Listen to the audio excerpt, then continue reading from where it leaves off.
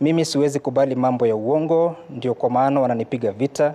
Kama mko na shida na mimi, kujeni mnishtaki kwa wananchi. Who are you talking about? Um, some you know what is happening, and I had hoped probably before we get into that discussion, we'll discuss matters to do with what I do. And No, then we we'll we get there. We're just coming from the matters arising from the events that you had in the city today. What I am saying is that Yeah. uh, it is everybody's knowledge that I'm a truthful person. And many people are uncomfortable with that truth. When I raised that matter of Wakulima market, I was called all sorts of names, including being called a tribalist.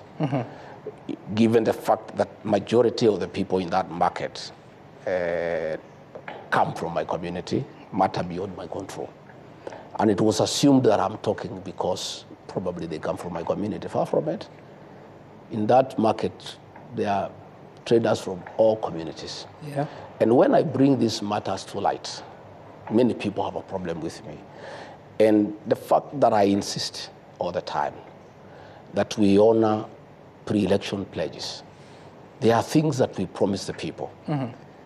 We went there with Governor Sakaja and promised the people of that market that under our administration, their business can only flourish. It cannot become worse. We agreed that our administration will never oversee demolitions and evictions. Those traders were being evicted there uh, about 10 years ago in a very brutal manner. And I talked about it. And many people are uncomfortable with that. And what I'm saying is that uh, anybody who has a problem with my conduct, you go and report me to my employer. My employer are the people of Kenya. These are the people who employed me. Go to them and say, well, Rigathi Gachagua, deputy president, is becoming a nuisance. He's complaining that you people are being harassed. We want to report him to you and ask him to shut up. And he shouldn't keep on bickering and saying that you people are being mistreated. That's what I was saying.